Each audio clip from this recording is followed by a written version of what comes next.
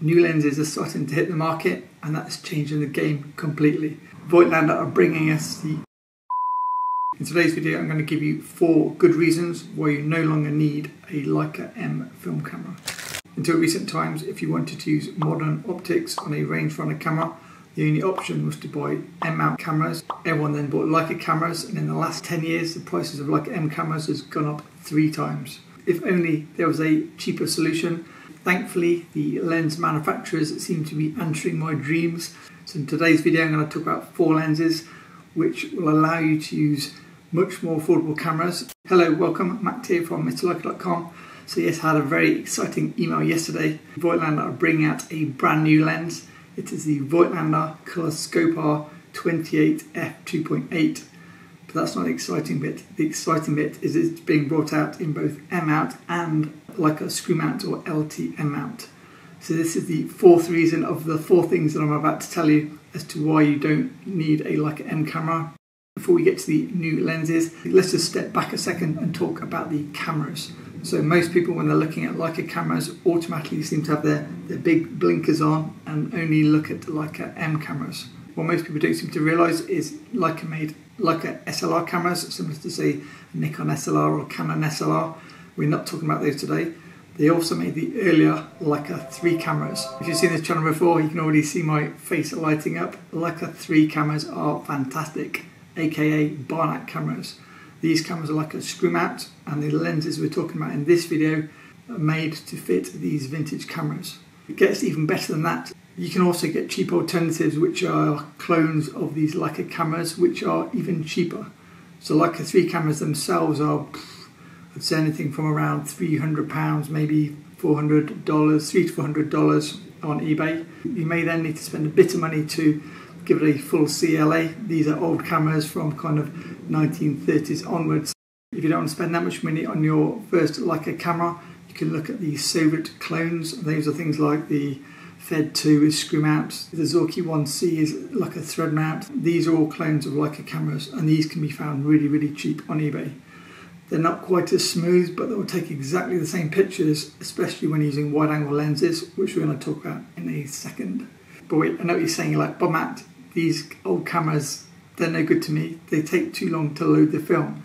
You have to cut the film leader before you can put the film in the camera and I can't be faffing around with all that. I need a light meter, I need my mod cons.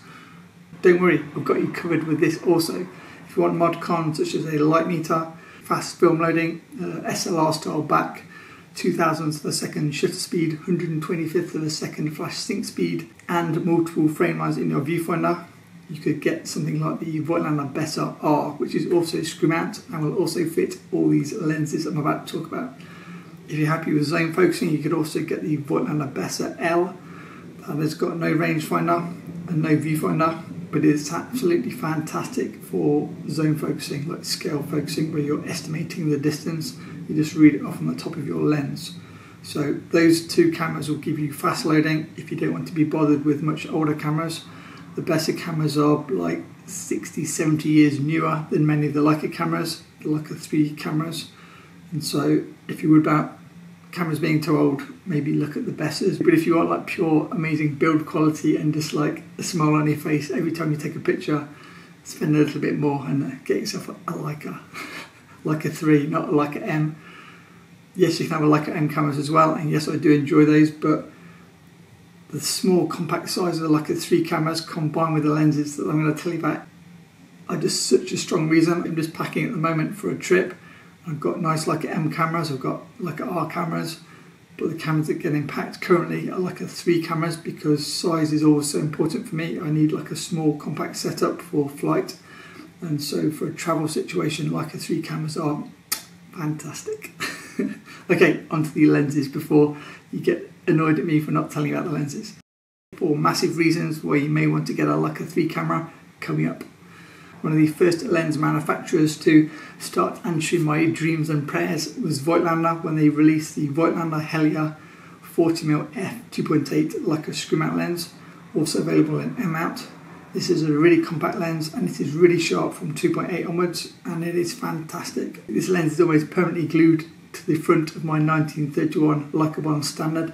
You can see that in my favourite camera of 2023 or off-grid photography video. And I know what you're thinking, you're like, but Matt, these old cameras have 50mm viewfinders. What's the point of buying a 40mm lens? I'm like, yeah, I hear. The good news is, with many of the 50mm viewfinders, if you put your eye right close to the viewfinder, you can see wider than 50mm, and that gives you the equivalent of a 40mm uh, estimated field of view. And then I use that, so I use my fixed 50mm viewfinder on my Leica cameras with a 40mm lens and have no problems at all. If you want to be really precise, you can actually get a Voigtlander 40mm viewfinder and just pop that on the, the cold shoe on the top of the cameras. Okay, coming in at number two, Light Lens Lab released their 35mm f2 8 element lens, which is like a Summicron clone. That is available in screw mount and in M mount, and it's available as collapsible and rigid.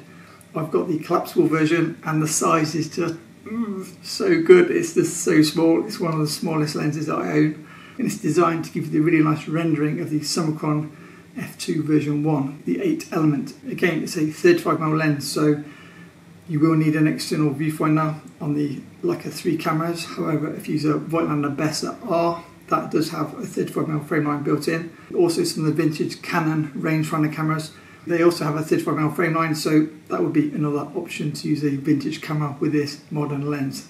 Reason number three, and the reason for making this video, is TT Artisan just sent me their brand new 28mm f5.6 LTM version of their lens. So if you saw my video on their M mount version, I said this lens is amazing. There's this one massive problem with it. It's M mount, not screw mount. The fact that it's so small and so beautifully made, it will just it's just shouting out, please put me on a Leica screw mount camera because it's really good for zone focusing. So for a small vintage Leica screw mount camera, you zone focus it with a 28mm lens and it's just the perfect walk around setup. So again, you'll need a 28mm viewfinder to go on the top of the camera. You can get cheap ones from say KEKS, you can get nice ones from the likes of Voigtlander. This lens is absolutely beautifully made and I really would say that not all Chinese lenses are made equally. I've reviewed quite a lot of Chinese lenses now over the last few years. Some are great, some are not so great, and in my mind, it is the number one TTR lens in terms of build quality, and it just feels so Leica-like. Uh, if you don't know, it's a clone of the Leica Summaron 28 5.6. The difference is the Leica lens is now only available in M mount, where you can buy this new in screw mount. Uh, the original one was made in silver and black. The screw mount is only available in silver, so do be aware of that. The M version range rangefinder couples from 1 meter the LTM version range rangefinder couples from 1.2 meters, but for scale focusing, pretty much everything's in focus anyway at 5.6, so it really doesn't matter that much. As if one of my photography friends from Dubai came to London a couple of days ago, and it was the day that the TT Artisan lens arrived, so we went out into London despite the rain and took a few photos. Here are some sample photos shooting the TT Artisan lens on the Leica M240 I got this lens to shoot on film, but I wanted to do a quick test first on digital. If you want to see how good this lens is on film, these photos are shot with the TT Artisan 28mm f5.6 on a Leica M4P in Budapest. And I was really happy with the image quality. Nearly all of them are shot at either f5.6 or f8. And yeah, I couldn't be happier. The lens does suffer from lens flare, so you're better to not point at uh, bright sources of light but you can even use it for portraits as seen here. Yes, 28mm portraits are not a common phenomenon, but these photos are shot with the 28 TT Artisan, I believe, on the Leica SL, and I was playing with the flare in terms of a creative aspect to actually enhance the photos, so flare doesn't always need to be a bad thing. And finally, number four, the email that came yesterday that made my eyes light up. Voigtlander are bringing us the Color Skopar 28mm f2.8 in both M mount and in screw mount. There's going to be a Type 1 and a Type 2, and they do vary slightly. One version is going to focus slightly closer, and the look of the lens is slightly different. It almost makes you want to buy two. The one that focuses closer for the say Leica SL, and then the screw mount one to fit on my film cameras. So I'm definitely going to be reviewing this lens and If you're not yet subscribed and you like this type of stuff, feel free to subscribe. I'll get one as soon as I can. And some of the rumours say it's going to be as sharp as a Voigtlander Ultron lens, and if it's as good as my 40mm Heliar, it's going to be permanently attached to one of my screw mount cameras as my walk around setup. So in summary, if you've already got Leica M cameras, brilliant. You can use all of these lenses via an adapter on your existing camera. However, if you've always been sitting on the fence hoping that one day Leica would make a cheaper camera, now you don't need to wait any longer. You can use their existing Leica 3 cameras which are already cheaper and just use the lenses which are now being made available for that system. They're just so good to like fit in a small pocket or like the small Wotancraft bag that I use. I can put a link below to that pouch that I sometimes wear in some of my videos. To see videos on the mentioned lenses, I can link these here. A huge thanks to my awesome patrons and thanks to the lens companies for bringing us screw mount lenses.